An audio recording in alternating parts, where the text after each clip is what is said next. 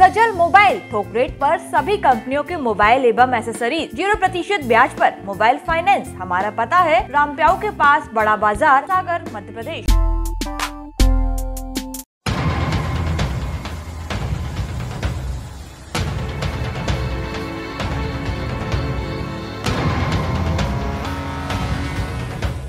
क्या आपने कभी सुना है कि कोई दूल्हा बारात लेकर पहुँचा हो और उसे बंधक बना लिया गया हो? जी हाँ अजीबो गरीब ये मामला एमपी के रीवा ज़िले से सामने आया है, जहाँ मऊगंज थाना क्षेत्र अंतर्गत वन पडार गाँव में बारात लेकर पहुँचे बारातियों को लड़की पक्ष के लोगों ने बंधक बना लिया। देखते ही देखते दोनों पक्षों के बीच विवाद इतना बढ़ गया कि दुल्हन ने अचानक लड़के से शादी करने के लिए इनकार कर दिया। उसका कहना था कि लड़के की मानसिक स्थिति खराब है। बाद में लड़की वालों ने बारातियों की ओर से लाए गए चढ़ाव में सोने चांदी से बने जेवरात और तकरीबन पचहत्तर हज़ार रुपए नगद भी जब्त कर लिए। सुबह होते ही दूल्हे को मंडप से उठाकर घसीटते हुए बाहर का रास्ता दिखा दिया।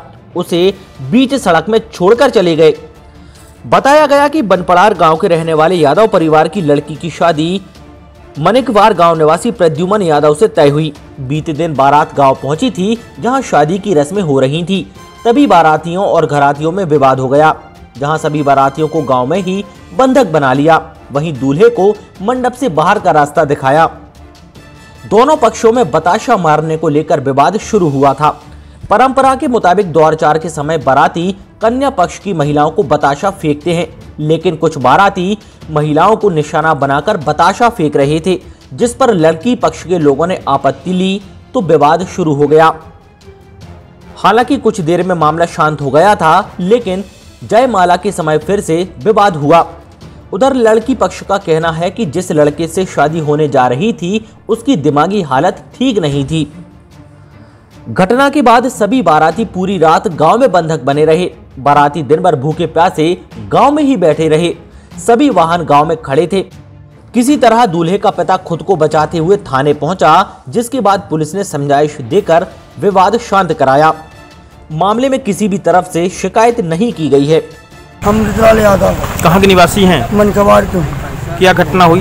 हमारे साथ हम सर हम अपने लड़का की शादी करने आए थे परदुम यादव। कहाँ आए थे? बनपाड़र गाँव। फिर क्या हुआ? बनपाड़र में हमारे साथ लूट किए सर। कौन किया? बारात के घरात वाले। बंधक बना लिए थे आपको? जी सर। कब छूटे हैं आप? हम सुबह छूटे हैं सर। आठ बजे नौ बजे। आठ नौ बजे। कितना पैसा ले लिया आपसे? हमसे पचहत्तर हज़ार साल ले लिए। और क्या और क्या ले गए? सोन चांदी हमारे जेबराज पान थान ले गए। अभी तक पुलिस ने क्या कार्रवाई किया? पुलिस कुछ नहीं कार्रवाई कर रही सर। रिपोर्ट कर दिए हैं आप? रिपोर्ट हम करने आए थे हम हम अर्जी भर दिए हैं सर। अर्जी में हमको पावती नहीं मिल रही है सर।